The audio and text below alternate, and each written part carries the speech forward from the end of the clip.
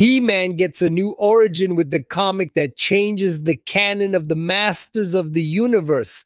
The Masters of the Universe have revised their history and now he-Man has a new origin with the most detailed past about the formation of Eternia. Master of the Universe Revolution number one, recently published by Dark Horse, links the comics to a new Netflix version. This title not only showcases the birth of the villain Hordak, but also the entire universe of Prince Adam to start with, have you read He Man in the comics? Did you know there were He Man comics? Are you excited about the confirmed new He Man movie? Comment below, let's chat. Masters of the Universe Revolution number one features the designs of Daniel HDR. The opening pages of the issue show the origin of the universe with two primordial magical forces represented by a Zoar eagle and a Ka snake fighting and threatening to destroy the birth of this reality. Originally created to support a new line of toys in the 80s, you can't have He Man without a doll. After all, He Man was only released to sell dolls. Did you know that? But anyway, originally created to support a new line of toys from the 80s,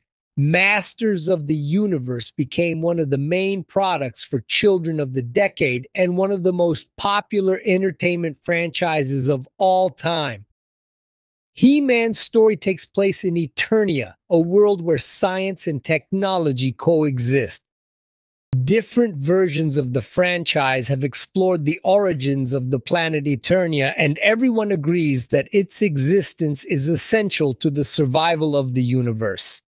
The magical powers of this world are then concentrated in the Doll Castle, making it the target of villains including the infamous skeleton He-Man. The new origin featured in Masters of the Universe Revolution 1 expands the historical period to before the existence of Eternia. Zoar, the benevolent force, is the patron of the sorceress and represents good.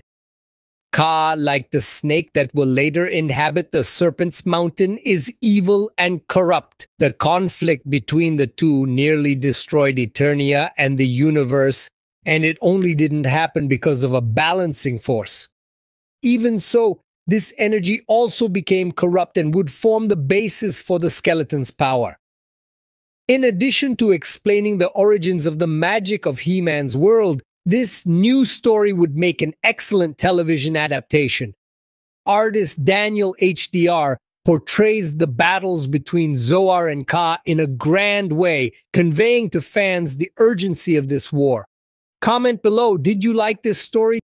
Did you like the changes? Do you think it's worth an adaptation? If it's worth an adaptation for Netflix, it's better to change the showrunner. Do you agree with me? Comment below, I want to know.